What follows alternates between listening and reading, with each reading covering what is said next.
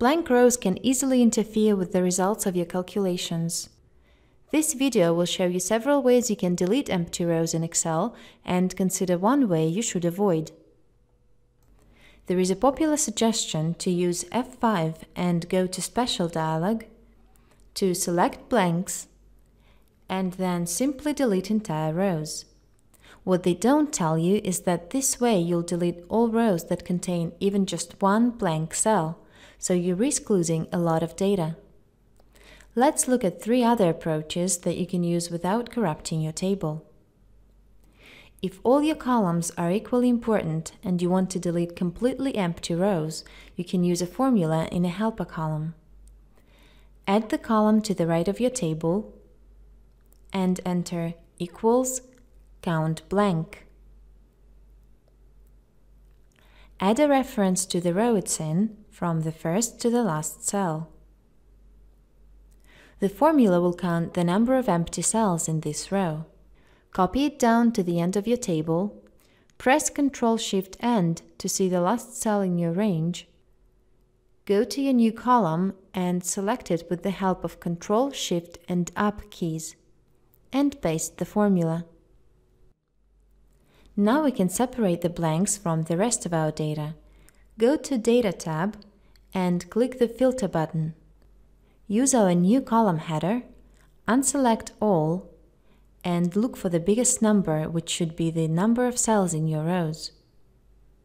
I have five cells here, so these are the rows I need. Pick the first cell by pressing Ctrl and Home, and then select all these rows with the help of the shortcut Ctrl Shift End. Now you can right-click and choose to delete rows or use the shortcut Ctrl and minus. If you want to find records that miss just the main details, such as the IDs, you can filter records by your key column. Use the same shortcuts to select the table and make sure you don't leave anything out. Control Shift End and click the Filter button. Apply it to your key column, click Select All to clear the checkboxes, scroll to the end of the list and select Blanks. Click OK and you'll get all rows without the key records. To delete them, select them using the same shortcut Control Shift End.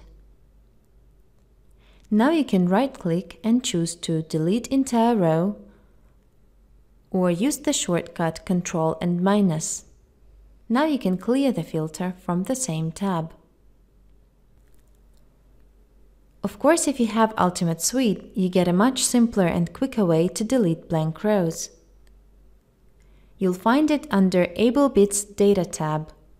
Look for the Clean group and click Empty Rows. Confirm that's what you want to do and get your table ready. You can get Ultimate Suite with a discount by using the coupon code PREVIEW. Now you can be sure your tables are clean and ready for work. If you still have questions about removing empty rows in Excel, please post them as comments. We'll do our best to help you.